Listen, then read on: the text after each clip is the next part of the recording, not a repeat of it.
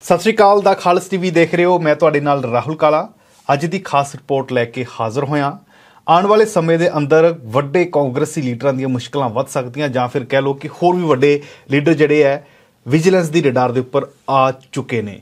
ਤਾਂ ਇਹ ਮਾਮਲਾ ਕੀ ਹੈ? ਬਠਿੰਡਾ ਦੀ ਰਿਫਾਈਨਰੀ ਦੇ ਵਿੱਚ ਜੋ ਪੈਟਰੋਕੈਮੀਕਲ ਯੂਨਿਟ ਦੀ ਉਸਾਰੀ ਹੋ ਰਹੀ ਸੀ ਤਾਂ ਇਸ ਦੌਰਾਨ ਟਰਾਂਸਪੋਰਟਰਾਂ ਤੋਂ ਗੁੰਡਾ ਟੈਕਸ ਵਸੂਲਿਆ ਜਾਂਦਾ ਸੀ ਤੇ ਜੇਕਰ ਅਸੀਂ ਇਸ ਦਾ ਹਿਸਾਬ ਲਗਾਈਏ ਤਾਂ 54 ਕਰੋੜ ਰੁਪਏ ਤੋਂ ਵੱਧ ਦਾ ਗੁੰਡਾ ਟੈਕਸ ਜਿਹੜਾ ਹੈ ਉਹ ਲੀਡਰਾਂ ਦੇ ਕੋਲ ਚਲਾ ਜਾਂਦਾ ਹੈ ਤੇ ਇਸ ਦੇ ਵਿੱਚ ਕੌਣ ਇਨਵੋਲਵ ਹੈ?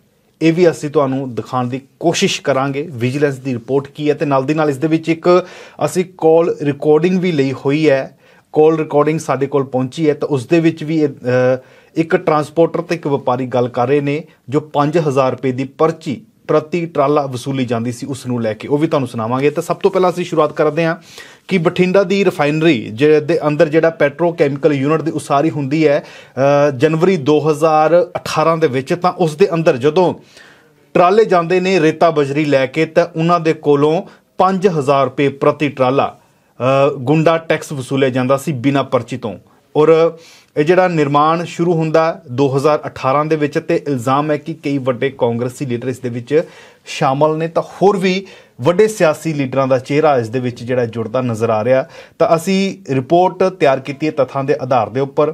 ਇੱਕ ਆਡੀਓ ਕਾਲ ਰਿਕਾਰਡਿੰਗ ਵੀ ਹੈ, ਉਸ ਬਾਰੇ ਵੀ ਤੁਹਾਨੂੰ ਦੱਸਾਂਗੇ। ਤਾਂ ਸਭ ਤੋਂ ਪਹਿਲਾਂ ਕੀ ਹੈ ਕਿ ਜਦੋਂ ਪੈਟਰੋਕੈਮੀਕਲ ਯੂਨਿਟ ਦੀ ਉਸਾਰੀ ਹੁੰਦੀ ਹੈ ਤਾਂ ਫਿਰ ਉਸਾਰੀ ਦੇ ਲਈ ਰੇਤਾ ਬਜਰੀ ਜਿਹੜੀ ਹੈ ਉਹ ਜ਼ਰੂਰਤ ਪੈਂਦੀ ਹੈ।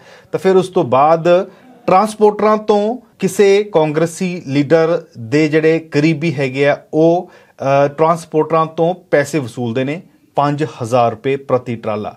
ਕਈ ਦਿਨਾਂ ਤੱਕ ਇਹ ਸਮਾਂ ਇਹਦੀ ਚੱਲਦਾ ਰਹਿੰਦਾ ਹੈ।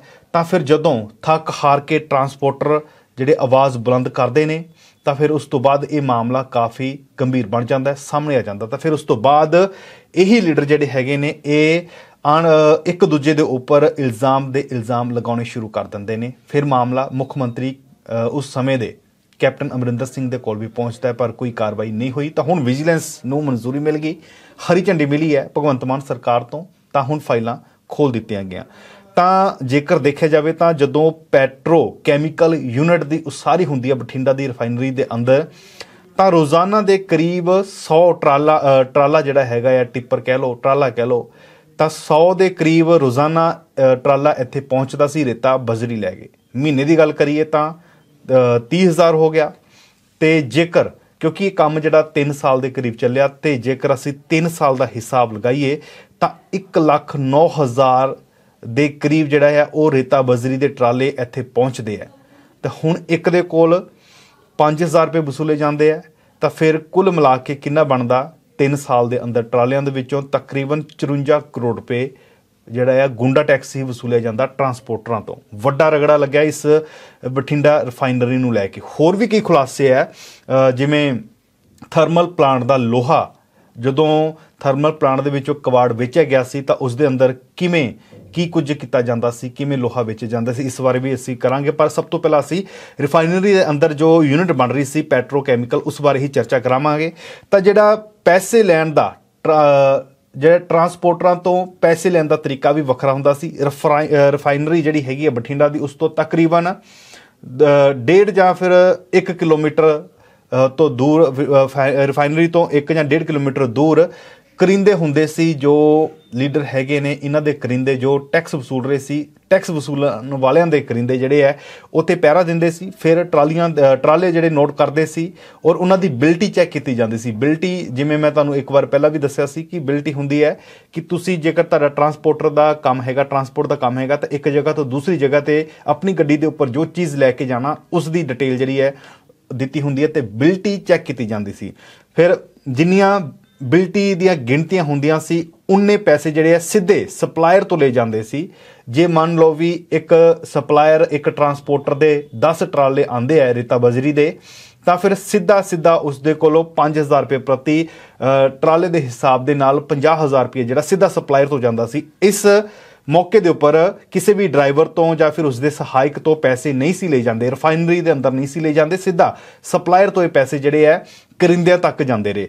ਤਾਂ ਇਹ ਜਿਹੜਾ ਮਾਮਲਾ ਚੱਲਦਾ ਰਹਿੰਦਾ ਤੇ ਫਿਰ ਜੇ ਕੋਈ ਜੇਕਰ ਕੋਈ ਸਪਲਾਇਰ ਜਾਂ ਟਰਾਂਸਪੋਰਟਰ ਪੈਸੇ ਦੇਣ ਤੋਂ ਮਨਾ ਕਰ ਦਿੰਦਾ ਸੀ ਗੁੰਡਾ ਟੈਕਸ ਤਾਂ ਉਸ ਨੂੰ ਬਾਹਰ ਕੱਢ ਕੇ ਨਵੇਂ ਟਰਾਂਸਪੋਰਟਰ ਦੀ ਐਂਟਰੀ ਕਰਵਾ ਦਿੱਤੀ ਜਾਂਦੀ ਸੀ। ਤਾਂ ਇਸੇ ਤਰ੍ਹਾਂ ਇੱਕ ਹੋਰ ਮੁੱਦਾ ਹੈ ਰਿਫਾਈਨਰੀ ਦੇ ਅੰਦਰ ਅ, ਜੋ ਕੈਮੀਕਲ ਯੂਨਿਟ ਬਣ ਰਹੀ ਸੀ, ਪੈਟਰੋਕੈਮੀਕਲ ਯੂਨਿਟ, ਉਸ ਦੇ ਵਿੱਚ ਗੁੰਡਾ ਟੈਕਸ 5000 ਰੁਪਏ ਵਸੂਲਿਆ ਜਾਂਦਾ ਸੀ ਤਾਂ ਦੂਸਰੇ ਪਾਸੇ ਜਿਹੜਾ ਪੀਸੀਆਨਾ ਹਵਾਈ ਅੱਡਾ ਹੈ, ਇਸ ਦੇ ਵਿੱਚ ਗੁੰਡਾ ਟੈਕਸ 3000 ਰੁਪਏ ਪ੍ਰਤੀ ਟਰਾਲੇ ਦੇ ਹਿਸਾਬ ਦੇ ਨਾਲ ਵਸੂਲਿਆ ਜਾਂਦਾ ਸੀ ਤੇ ਬਠਿੰਡਾ ਕੈਂਟ ਦੇ ਵਿੱਚ ਕੋਈ ਵੀ ਕੰਮ ਚੱਲਦਾ ਰਿਹਾ ਤਾਂ ਉਸ ਨੂੰ ਵੀ 3000 ਰੁਪਏ ਪ੍ਰਤੀ ਟਰਾਲਾ ਦੇਣਾ ਪੈਂਦਾ ਸੀ ਟਰਾਂਸਪੋਰਟਰਾਂ ਨੂੰ। ਤਾਂ ਇਸ ਤੋਂ ਇਲਾਵਾ ਥਰਮਲ ਜਿਵੇਂ ਮੈਂ ਪਹਿਲਾਂ ਵੀ ਜ਼ਿਕਰ ਕੀਤਾ ਸੀ ਕਿ ਥਰਮਲ ਪਲਾਂਟ ਦਾ ਕਬਾੜ, ਜਦੋਂ ਬਠਿੰਡਾ ਥਰਮਲ ਪਲਾਂਟ ਦਾ ਕਬਾੜ ਯਾਨੀ ਕਿ ਲੋਹਾ ਵੇਚਿਆ ਜਾਂਦਾ ਸੀ ਤਾਂ ਪਲਾਂਟ ਦੀ ਕੰਪਨੀ ਤੋਂ ਇਹ ਜਿਹੜੇ ਪੈਸੇ ਹੈਗੇ ਨੇ 125 ਰੁਪਏ ਪ੍ਰਤੀ ਕੁਆਂਟਲ ਦੇ ਹਿਸਾਬ ਦੇ ਨਾਲ ਕਿਰਾਇਆ ਲਿਆ ਜਾਂਦਾ ਸੀ। ਲੋਹੇ ਨੂੰ ਇੱਕ ਜਗ੍ਹਾ ਤੋਂ ਦੂਸਰੀ ਜਗ੍ਹਾ ਲੈ ਕੇ ਜਾਣ ਲਈ ਜਿੰਨਾ ਕੁਆਂਟਲ ਹੁੰਦਾ ਸੀ, ਉਸ ਨੂੰ 125 ਦੇ ਨਾਲ ਗੁਣਾ ਕਰ ਲਈ ਜਾਂਦੀ ਸੀ। ਇਹ ਜਿਹੜੇ ਹੈ ਪਲਾਂਟ ਦੀ ਕੰਪਨੀ ਤੋਂ ਪੈਸੇ ਲਏ ਜਾਂਦੇ ਸੀ ਜਾਂ ਉਹਨਾਂ ਤੋਂ ਭਾੜਾ ਲਿਆ ਜਾਂਦਾ ਸੀ 125 ਰੁਪਏ। ਫਿਰ ਅੱਗੇ ਟਰਾਂਸਪੋਰਟਰਾਂ ਨੂੰ ਜਿਸ ਦੇ ਟਰਾਲੇ ਹੁੰਦੇ ਸੀ, ਜਿਸ ਨਾਲ, ਜਿਨ੍ਹਾਂ ਟਰਾਲਿਆਂ ਦੇ ਵਿੱਚ ਲੱਦ ਕੇ ਲੈ ਕੇ ਜਾਣਾ ਹੁੰਦਾ ਸੀ, ਉਹਨਾਂ ਨੂੰ 65 ਰੁਪਏ ਪ੍ਰਤੀ ਕੁਇੰਟਲ ਦੇ ਹਿਸਾਬ ਦੇ ਨਾਲ ਭਾੜਾ ਦਿੱਤਾ ਜਾਂਦਾ ਸੀ, ਤਾਂ ਇਹ ਵੀ ਵੱਡਾ ਸਕੈਮ ਹੈ। ਹਾਲਾਂਕਿ ਕਿੰਨੀ ਦਰ ਦੇ ਵਿੱਚ ਲੋਹਾ ਵਿਕਿਆ, ਕਿੰਨੇ ਟਨਾਂ ਦੇ ਵਿੱਚ ਵਿਕਿਆ ਇਹ ਜਿਹੜਾ ਆ, ਹਲ- ਇਸ ਬਾਰੇ ਵੀ ਅਸੀਂ ਜਲਦ ਹੀ ਰਿਪੋਰਟ ਲੈ ਕੇ ਆਵਾਂਗੇ। ਫਿਲਹਾਲ ਅਸੀਂ ਰਿਫਾਈਨਰੀ ਦੀ ਗੱਲ ਕਰ ਰਹੇ ਹਾਂ। ਤਾਂ ਇਹ ਜਿਹੜੇ ਹੁਣ ਅਸੀਂ ਤੁਹਾਨੂੰ ਆਡੀਓ ਸੁਣਾਉਣ ਲੱਗੇ ਹਾਂ, ਇਹ ਆਡੀਓ ਵਿਧਾਨ ਸਭਾ ਦੀਆਂ ਚੋਣਾਂ 2022 ਤੋਂ ਠੀਕ ਕੁਝ ਦਿਨ ਪਹਿਲਾਂ, ਯਾਨੀ ਕਿ ਦਸੰਬਰ 2021 ਦੇ ਵਿੱਚ ਇੱਕ ਵਪਾਰੀ ਤੇ ਟਰਾਂਸਪੋਰਟਰ ਨੇ ਰਿਕਾਰਡ ਕੀਤੀ ਹੈ ਇਹ ਟਰਾਂਸਪੋਰਟਰ ਉਹੀ ਹੈ ਜੋ ਕਿਸੇ ਲੀਡਰ ਜਿਸ ਦਾ ਇਸ ਦੇ ਵਿੱਚ ਸ਼ਮੂਲੀਅਤ ਦੱਸੀ ਜਾ ਰਹੀ ਹੈ ਉਸ ਲੀਡਰ ਦਾ ਕਰੀਬੀ ਵੀ ਮੰਨਿਆ ਜਾਂਦਾ ਹੈ ਤੇ ਨਾਲ ਦੀ ਨਾਲ ਉਸ ਦੇ ਵੀ ਟਰਾਲੇ ਜਿਹੜੇ ਆ ਅੰਦਰ ਚੱਲਦੇ ਨੇ। ਤੇ ਇੱਕ ਵਾਰ ਸੁਣਦੇ ਹਾਂ ਅਸੀਂ ਉਹ ਰਿਪੋਰਟ ਹਾਂਜੀ ਸਰ। ਹਾਂਜੀ ਹਾਂਜੀ ਭਾਜੀ ਮੈਂ ਬਟਾਲੇ ਤੋਂ ਗੱਲ ਕਰਦਾ ਭਾਜੀ। ਹਾਂ ਹਾਂ ਹਾਂ। ਸਰ ਇੱਕ ਤਾਂ ਨਾ ਤੁਸੀਂ ਮਾੜਾ ਜਿਹਾ ਉਹਦੇ ਨਾਲ ਗੱਲ ਕਰੋ ਜਿਹੜਾ ਦਲਾਲ ਹੈ।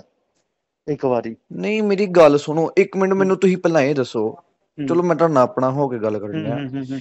ਇਹ ਇੱਥੇ ਤੁਹਾਡੀ ਕੀ ਰੋਲ ਵਾ ਵਿੱਚ? ਇੱਥੇ ਜੀ ਜਿਹੜੇ ਉਰੋਂ ਦੇ ਆਏ ਲਾ ਲਓ ਵੀ ਐਮਐਲਏ ਸਾਹਿਬ ਹੈ ਜੀ।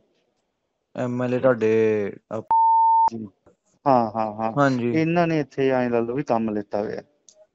ਜਿੰਨੀ ਇੱਥੋਂ ਮਾਲ ਨਿਕਲਣਾ ਹੈ, ਸਾਰੀ ਗੱਡੀ ਉਹਨਾਂ ਦੇ ਥਰੂ ਜਾਣੀ ਹੈ।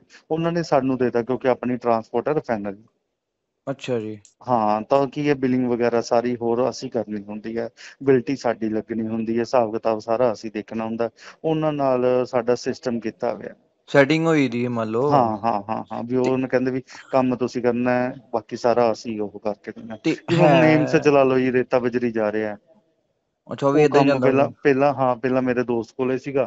ਉਹ ਕੋਈ ਦਿੱਕਤ ਜੀ ਆ ਗਈ ਤੇ ਉਹਨਾਂ ਨੇ ਕੰਮ ਮੈਨੂੰ ਦੇਤਾ। ਉਹ ਕੀ ਹੈ ਹੁਣ ਉਹਨਾਂ ਨੇ ਉੱਥੇ 4000 ਰੁਪਏ ਗੱਡੀ 4500 ਰੁਪਏ ਗੱਡੀ ਐਂ ਲੈਂਦੇ ਆ। ਅੱਛਾ ਉਹ ਆਪਣਾ ਇਹ, ਹਾਂ ਹਾਂ ਹਾਂ। ਉਹ ਜਿਹੜਾ ਇਹਨਾਂ ਦਾ OSD ਉਹ ਦੇਖਦਾ ਪਿਆ ਕੰਮ। ਉਹ ਕੀ ਇਹਦੇ ਹੁੰਦਾ ਇਹਦੇ ਵਿੱਚ? ਕੋਈ ਕੋਈ ਇਦਾਂ ਦਾ ਨਹੀਂ ਹੈਗਾ ਸਿਸਟਮ ਕਿ ਜਿਹੜੀ ਤੁਹਾਡੇ ਆਪਣੇ ਐਂਡ ਤੋਂ 5000 ਦੀ ਪਰਚੀ ਮੇਰੀ ਜਿਹੜੀ ਲੱਗਣੀ ਹੈ ਤੇ ਹੂੰ, ਖੂਹ ਹੂੰ। ਖਾਤੇ ਹੀ ਹੈ ਮੈਨੂੰ ਤਾਂ ਫਾਇਦਾ ਨਹੀਂ ਹੋਣਾ ਇਹਦਾ। ਹੂੰ ਹੂੰ ਹੂੰ। ਤੁਸੀਂ ਇਹ ਵੇਖੋ ਨਾ ਕਿੱਥੇ ਮੈਂ ਪਤਾ ਕੀ ਕਹਿੰਦਾ ਪਿਆ। ਮੈਂ ਮੈਂ ਦੱਸਦਾ ਤੁਹਾਨੂੰ ਇਹਦਾ ਕੀ ਸਿਸਟਮ ਬਣੂਗਾ? ਇਹਦਾ ਰੇਟ ਜਿਹੜਾ ਉਹਨਾਂ ਨੂੰ 75 ਰੁਪਏ ਦਿੱਤਾ ਹੈ, ਹਾਂਜੀ। ਉਹੀ ਰੇਟ ਲੱਗੂਗਾ। ਤੁਹਾਡੀ ਗੱਡੀ ਮੈਨੂੰ ਲੱਗਦਾ 55 ਰੁਪਏ ਚਾਹੀ 54 ਚਾਹੀਏ ਹਾਂਜੀ ਹਾਂਜੀ ਹਾਂਜੀ। ਬੰਦੇ ਇੰਨੇ ਕੁ ਤੰਗ ਹੈ। ਇੱਥੇ ਸਿਸਟਮ ਹੀ ਪੁੱਛੋ ਨਾ ਜੀ। ਪਰ ਭਈਆ ਮਗਰ 5000 ਦੀ ਪਰਚੀ ਵੀ ਮੈਨੂੰ ਤੇ ਰੇਟ ਪੈਣਾ ਨਹੀਂ ਪਰਚੀ 7500 ਪਰਚੀ ਪਰਚੀ ਦਾ ਤਾਂ ਤੁਸੀਂ ਨਾਮ ਹੀ ਨਾ ਲਓ। ਪਰਚੀ ਸਿਸਟਮ ਹੀ ਹੈ ਨਹੀਂ ਉਰੇ। ਪਰਚੀ ਤਾਂ ਇਹ ਕਹਿੰਦੇ ਆ ਸਾਨੂੰ ਵੀ ਕਹਿਣੀ ਨਹੀਂ ਤੁਸੀਂ। ਇਹਨਾਂ ਦਾ। ਇਹ ਨਹੀਂ ਪਤਾ ਕਦੋਂ ਕਹਿ ਦੇਣ ਵੀ 10 ਲੱਖ ਰੁਪਏ ਭੇਜ ਦਿਓ। ਦਾ ਹਿਸਾਬ ਦੇ ਵਿੱਚ ਹਾਂ। ਵੀ ਇਹਨਾਂ ਦੇ ਹਿਸਾਬ ਦੇ ਇਹ ਵਿੱਚ ਤੇ ਇਹਨਾਂ ਨੇ ਵੇਖਦੇ ਤਾਂ- ਨਾ ਮੇਰੇ ਨਾਲ ਇਹਨਾਂ ਦਾ ਇਹ, ਕੀ ਨਾਮ ਜਿਹੜਾ ਸਾਹਿਬ ਸਾਹਿਬ ਹਾਂ ਉਹਨਾਂ ਦੀ OST ਹੈ ਨਾ ਜੀ। ਉਹ ਗਾਂ ਉਹ ਹੋ ਗਿਆ ਗਾਂ ਮੁੰਡਾ ਹੋ ਗਿਆ ਇਹਨਾਂ ਦਾ। ਲੋਕ ਹਾਂ ਉਹ ਇਹਨਾਂ ਨੇ ਸਾਰੇ ਆਪਦੇ OST ਕੱਢੇ ਹੋਏ ਆ ਜੀ ਉਹੀ ਦੇਖਦੇ ਆ। ਹੁਣ ਉੱਥੇ ਥੋੜਾ ਉਹ ਹੋਇਆ ਪਹਿਲਾਂ ਕੰਮ ਸੀ ਕੰਮ ਜੀ ਹਮ, ਝੀਲਾਂ ਲਾ ਜੀ ਚੋਂ ਰਾਖੀ ਨਿਕਲਦੀ ਹੈ। ਉੱਥੇ ਗੋਲੀਆਂ ਚੱਲੀਆਂ ਟਰੈਕਟਰ ਮਚਾਤਾ ਬਲੈਰੋ ਮਚਾਤੀ। ਹਾਂ ਮੇਰੀ ਉੱਥੇ ਰਿਫਾਈਨਰੀ ਟਰਾਂਸਪੋਰਟ ਹੈ ਜੀ। ਰਿਫਾਈਨ ਨਾਮ ਕੀ? Refinery transport. ਤੇ ਸਾਰੀ ਗੱਡੀ ਫਿਰ ਤੁਹਾਡੇ ਤੁਹਾਡੇ ਥਰੂ ਕੱਢਦੇ ਆ। ਤੇ ਤੁਸੀਂ ਉਹਨਾਂ ਨੂੰ ਕਹਿ ਨਹੀਂ ਸਕਦੇ ਇੱਕ ਅੱਧੀ ਗੱਡੀ ਜਿਵੇਂ ਆਪਣੇ ਖਾਤੇ ਪਾ ਲਓ ਤੁਸੀਂ। ਸਰ ਕਰਦੇ ਨਹੀਂ ਜੀ। ਹੋ ਸਕਦਾ ਇੱਕ ਗੱਡੀ ਦਾ ਕਰ ਲਓ ਅੱਗੋਂ ਫਿਰ ਜਿਹੜੀ ਹੋਏਗੀ ਸਰ ਇਹ ਕੀ ਦਾ ਕਟਾ ਲਿਆ ਕਰੋ ਹੋਰ ਕੀ ਹੋਏਗਾ ਮੈਂ ਦੱਸਦਾ ਕੀ ਹੈ। ਨਹੀਂ ਨਹੀਂ ਪਰਚੀ ਨਹੀਂ ਉਹ ਪਰਚੀ ਦਾ ਤਾਂ ਤੁਹਾਨੂੰ ਮੈਂ ਪਹਿਲਾਂ ਹੀ ਕਹੀ ਜਾਂਦਾ ਵੀ ਨਾਮ ਹੀ ਨਾ ਲਓ ਕਹਿੰਦੇ ਪਰਚੀ ਤਾਂ ਕਹਿਣੀ ਨਹੀਂ। ਨਹੀਂ ਚਲੋ ਕੁਛ ਕਹਿ ਲਓ ਅਸੀਂ ਤੇ ਹੁਣ ਆਪਸ ਵਿੱਚ ਪਰਚੀ ਕਹਿਣੀ ਹਿੱਸਾ ਕਹਿ ਲਓ ਕੁਛ ਕਹਿ ਲਓ। ਏਮਸ ਦੇ ਵਿੱਚ ਮੇਰੀ ਜਦੋਂ ਮਸ਼ੀਨ ਲੱਗੀ ਹੋਈ ਸੀ ਸਟੋਨ ਡਸਟ ਦੀ ਗੱਡੀ ਭੇਜੀ ਮੈਂ ਉਹਦੇ ਤੇ ਮਸ਼ੀਨ ਤੇ। ਬਰਦਰ ਕੋਲੇ। ਉਹ ਐਂ ਲਾ ਲਓ ਵੀ ਸਟੋਨ ਡਸਟ ਦੀ ਗੱਡੀ ਦਾ ਚਲਾਨ ਕਟਵਾਤਾ ਇਹਨਾਂ ਨੇ ਡੀਟੀਓ ਤੋਂ। ਤਾਂ ਜਿਹੜਾ ਵੀ ਨਾਮ ਸਾਹਮਣੇ ਆ ਰਿਹਾ ਹੈ ਵਿਜੀਲੈਂਸ ਜਾਂਚ ਕਰ ਰਹੀ ਹੈ। ਫਿਲਹਾਲ ਬਠਿੰਡਾ ਬਠਿੰਡਾ ਦੀ ਰਿਫਾਈਨਰੀ ਦਾ ਇਹ ਮਾਮਲਾ ਉਦੋਂ ਸਾਹਮਣੇ ਆਉਂਦਾ ਜਦੋਂ ਟਰਾਂਸਪੋਰਟਰ ਇੱਕ ਕਿਸਮ ਦੀ ਹੜਤਾਲ ਕਰ ਦਿੰਦੇ ਨੇ। ਮੁੱਖ ਮੰਤਰੀ ਤੋਂ ਇਹ ਮੁੱਦਾ ਪਹੁੰਚਦਾ ਉਸ ਸਮੇਂ ਦੇ ਕੈਪਟਨ ਅਮਰਿੰਦਰ ਸਿੰਘ ਤੋਂ ਕੋਈ ਹੱਲ ਨਹੀਂ ਹੁੰਦਾ। ਫਿਰ ਜਿਹੜਾ ਹੈ, ਹੁਣ ਵਿਜੀਲੈਂਸ ਨੇ ਕਾਰਵਾਈ ਖੋਲ ਦਿੱਤੀ ਹੈ। ਤਾਂ ਇਹ ਵੀ ਦੱਸਿਆ ਜਾ ਰਿਹਾ ਹੈ ਕਿ ਇੱਥੇ ਆਮ ਆਦਮੀ ਪਾਰਟੀ ਦੇ ਇੱਕ ਮਹਿਲਾ ਚਿਹਰਾ ਵੀ ਇਸ ਦੇ ਵਿੱਚ ਸ਼ਾਮਲ ਹੈ। ਉਹ ਕੌਣ ਹੈ? ਇਹ ਵਿਜੀਲੈਂਸ ਵੀ ਤੱਥ ਫਲੋ ਫਰੋਲ ਰਹੀ ਹੈ ਜਾਂ ਫਿਰ ਕੀ ਕਾਰਵਾਈ ਹੁੰਦੀ ਹੈ, ਇਹ ਵੀ ਆਉਣ ਵਾਲੇ ਸਮੇਂ ਦੇ ਵਿੱਚ ਪਤਾ ਚੱਲੇਗਾ। ਇਸ ਤੋਂ ਇਲਾਵਾ ਜੇਕਰ ਦੇਖਿਆ ਜਾਵੇ ਤਾਂ ਏਮਸ ਦੀ ਉਸਾਰੀ ਦੇ ਦੌਰਾਨ ਵੀ ਮਟੀਰੀਅਲ ਜੋ ਪਹੁੰਚਿਆ ਸੀ ਉਸ ਦੇ ਉੱਪਰ ਵੀ ਗੁੰਡਾ ਟੈਕਸ ਵਸੂਲਿਆ ਜਾਂਦਾ। ਇਹ ਵੀ ਚਰਚੇ ਨੇ, ਇਹ ਵੀ ਵਿਜੀਲੈਂਸ ਆਪਣੀ ਜਿਹੜੀ ਇਹ ਜਾਂਚ ਦੇ ਵਿੱਚ ਸ਼ਾਮਲ ਕਰ ਸਕਦੀ ਹੈ। ਔਰ ਇਸ ਤੋਂ ਇਲਾਵਾ ਪਸ਼ੂ ਮੇਲਿਆਂ ਦੇ ਵਿੱਚ ਪਸ਼ੂਆਂ ਤੇ ਵੀ ਗੁੰਡਾ ਪਰਚੀ ਲਗਾਈ ਜਾਂਦੀ ਸੀ। ਇਹ ਦੋ ਹੋਰ ਮਾਮਲੇ ਜਿਹੜੇ ਆ ਸਾਹਮਣੇ ਆ ਸਕਦੇ ਨੇ ਆਉਣ ਵਾਲੇ ਸਮੇਂ ਦੇ ਵਿੱਚ। ਤਾਂ ਫਿਲਹਾਲ ਬਠਿੰਡਾ ਰਿਫਾਈਨਰੀ ਦੇ ਅੰਦਰ ਜੋ ਕੈਮੀਕਲ ਯੂਨਿਟ ਬਣ ਰਹੀ ਹੁੰਦੀ ਹੈ ਉਸ ਦੇ ਵਿੱਚ ਵਿਜੀਲੈਂਸ ਨੇ ਹੁਣ ਆਪਣੀ ਕਾਰਵਾਈ ਤੇਜ਼ ਕਰ ਦਿੱਤੀ ਹੈ ਔਰ ਦਰਜਨਾਂ ਦੇ ਕਰੀਬ ਕੰਪਨੀਆਂ ਦੇ ਜਿਹੜੇ ਆ ਉਹਨਾਂ ਨੂੰ ਦ- ਤਲਬ ਕੀਤਾ ਗਿਆ। ਉਹਨਾਂ ਤੋਂ ਸਵਾਲ ਜਵਾਬ ਵੀ ਹੋਏ ਨੇ ਤੇ ਨਾਲ ਦੀ ਨਾਲ ਕਈ ਕੰਪਨੀਆਂ ਦੇ ਪ੍ਰਬੰਧਕਾਂ ਨੇ ਅਜਿਹੇ ਭੇਦ ਖੋਲੇ ਨੇ, ਅਜਿਹੇ ਭੇਦ ਸਾਹਮਣੇ ਲਿਆਂਦੇ ਨੇ, ਜਿਸ ਦੇ ਨਾਲ ਆਉਣ ਵਾਲੇ ਸਮੇਂ 'ਚ ਕਈ ਲੀਡਰਾਂ ਦੀਆਂ ਮੁਸ਼ਕਲਾਂ ਵੱਧ ਸਕਦੀਆਂ ਨੇ। ਫਿਲਹਾਲ ਉਹ ਕਿਹੜੇ ਲੀਡਰ ਹੋਣਗੇ, ਇਹ ਵਿਜੀਲੈਂਸ ਦੀ ਰਿਪੋਰਟ ਜਦੋਂ ਤਿਆਰ ਹੋ ਜਾਵੇਗੀ ਜਾਂ ਫਿਰ ਜਿਸ ਨੂੰ ਵੀ ਸੰਮਣ ਜਾਰੀ ਹੋਏਗਾ, ਉਸ ਤੋਂ ਬਾਅਦ ਅਸੀਂ ਅੰਦਾਜ਼ਾ ਲਗਾ ਸਕਦੇ ਹਾਂ। ਧੰਨਵਾਦ।